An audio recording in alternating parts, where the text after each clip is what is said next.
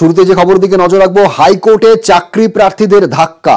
গান্ধী মূর্তির সামনে অবস্থানের মেয়াদ বাড়ালো না হাইকোর্ট। ঠিক কি বলল হাইকোর্ট? বিস্তারিত জানব। অর্ণব হাজরা আমার সঙ্গে রয়েছেন। অর্ণব, ঠিক কি বলল হাইকোর্ট? প্রায় পঞ্চাশ জন প্রাথমিক চাকরি প্রার্থী, আমি আবারও বলছি প্রাথমিক চাকরি প্রার্থী মনোজ প্রামাণিক সহ তাদের আবেদন খারিজ করল কলকাতা হাইকোর্ট। তাদের পাঁচ দিনের অবস্থান বিক্ষোভের অনুমতি দিয়েছিল বিচারপতি রাজাশেখর মান্থা। সেই সময়কাল শেষ হয়েছিল একুশে সেপ্টেম্বর। গান্ধী মূর্তির নিচেই তাদের এই অবস্থান, কেন বিভিন্ন গ্রুপে গ্রুপে কিন্তু এই অবস্থান বিক্ষোভ চলছে। কোনোটা এসএলএসটি কোনোটা এসএসসি কোনোটা প্রাথমিক।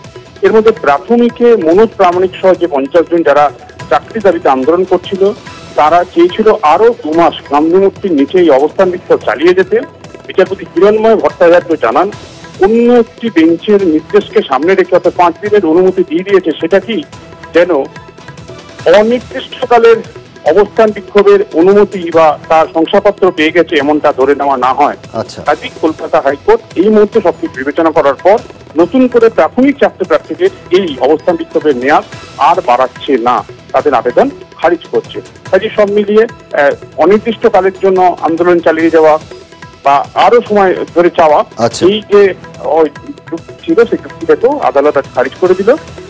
স্বাভাবিক আমরা যেটা মনে করছি সম্ভবত পুজোর ছুটির পর নতুন করে কোর্ট খুললে সেক্ষেত্রে এই প্রাথমিক চাকরি প্রার্থীরা যারা আজকে হারলেন মামলা তারা নতুন করে মামলা করার পরিকল্পনা করছে। ধন্যবাদ ধন্যবাদ অর্ণব